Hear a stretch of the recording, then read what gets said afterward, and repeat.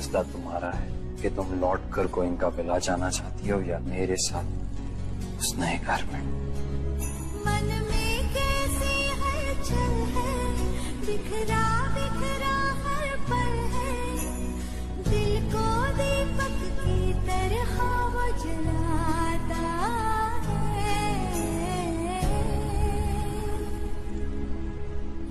रिश्ता क्या कहे